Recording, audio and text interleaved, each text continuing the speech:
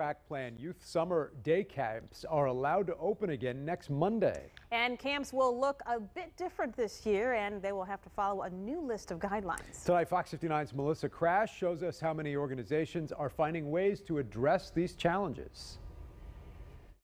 It wouldn't be summertime at the Fishers YMCA without arts and crafts and time in the woods.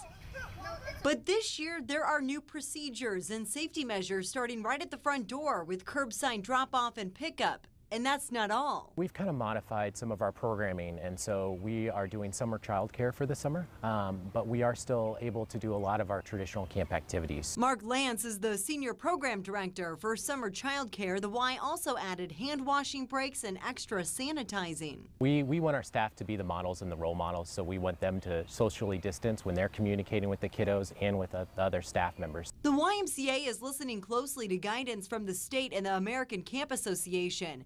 One of the challenges was finding a way to keep kids socially distant. All of our programs are much smaller than previous years, mainly for safety. Typically here at the Fishers YMCA, there would be double or triple the amount of kids enrolled in the summer camp.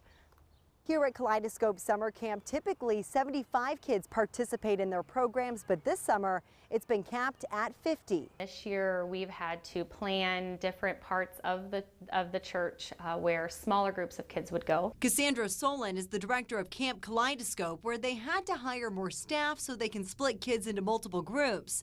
She's also added protocols at the daycare entrance. We're planning two weeks at a time. We're researching what is CDC, what is the state of Indiana, their guidelines, what is changing. At the Jewish Community Center, camp was replaced with all-day summer care. Children Children and staff will be screened and groups have dedicated spaces giving kids an outlet for some modified summer fun. I was really excited that we could get a plan in to get them here. We'll continue until school starts back up in the fall. In Fishers, I'm Melissa Crash, Fox 59 News. Well, overnight youth camps and playgrounds will remain closed under stage three of Indiana's Back on Track plan. Well, Indiana doctors say they're seeing an increase